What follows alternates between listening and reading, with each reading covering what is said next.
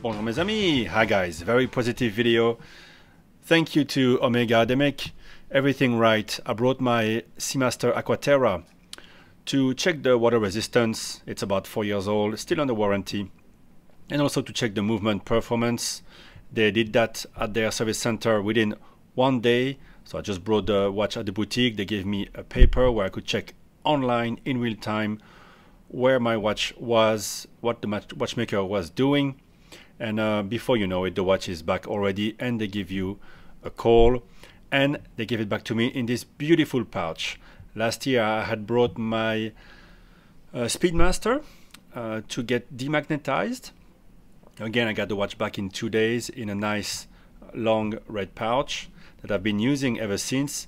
Uh, but this one is a, a, lot nicer, really beautiful. So feels like uh, like leather.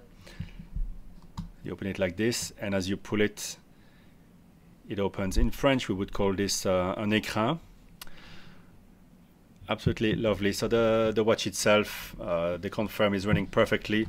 I haven't really abused it, and I got it second hand, but almost um, in excellent condition. Just a, a, couple of scratches. Speaking of scratches, I've used uh, Cape Cod to uh, polish the, the links and now they really came back to life with a beautiful shine. I think if I was pushing it a bit harder I could really remove even on the video with the bright light you wouldn't see anything but already like this the result is uh, quite astounding. So Cape Cod, uh, get, get this.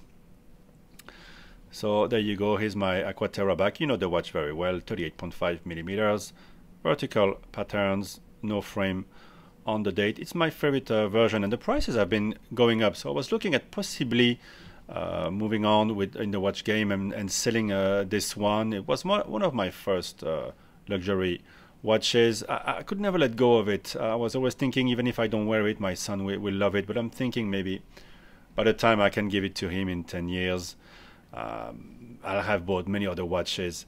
So I was checking out prices, and actually the prices have, have gone up on the second-hand market. Even damaged ones above 30,000 Hong Kong dollar. Quite happy uh, about that. Uh, we'll see. Obviously, it's a, it's a beautiful watch. It does a lot of things really well. I just wish there was a bit more, more lume on the, the minute hand, maybe a bit of clasp ex extension. But yeah, as a first luxury watch, you really can't go wrong with the Aquaterra. Speaking of Aquaterra, I finally, after a year and a half uh, since the release, got to try on the World Time version, which apparently is coming very rarely to the boutiques. And uh, I asked about it. It was on was not on display, but the sales lady told me I was very lucky.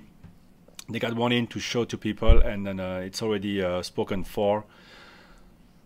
I was expecting it to be big, but not that as big uh, as that. Uh, on the, the video, you, you might see that the, the bracelet sort of uh, pushes up here. It's supposed to go downwards because of the plastic around.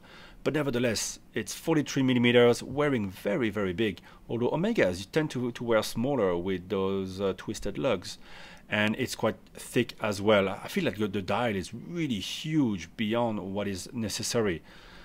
So again, it's a bit of the pitfall with uh, Omega. They tend to be uh, the the calibers, the coaxial calibers tend to be big, and uh, in this uh, world time complication version, it, it is really uh, beyond what most wrists can handle. Certainly, I, could pull it off from a distance, but when you look at it closely, you know how it is. The, the watches look much bigger, so to you it looks really way too big. From a distance, in the mirror, I could tell I could uh, it could be okay. But the Aquaterra is a very elegant watch, and that's why the uh, smaller version, the 38.5, is also the one worn by uh, James Bond in actually the last three movies. You might not have noticed it, and um, it's a bit more more elegant than the, the 41 millimeter version, I think. And so this world timer at 43, it, it remains basically the, the same uh, the same watch. So it, it's really big for an Aquaterra. Uh, obviously, the details are, are, beautiful, but you can't compare that to the classic world timers from Patek, for example. Here, it's all high tech, lasered map in the in the center.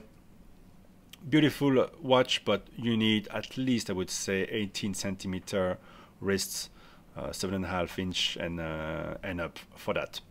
But Anyway, thank you very much, Omega, for the lovely service here at the Hong Kong boutique in, uh, in, in Central. Uh, I really appreciate it. Lovely pouch. Another satisfied customer. Thank you for watching, guys. Bye bye.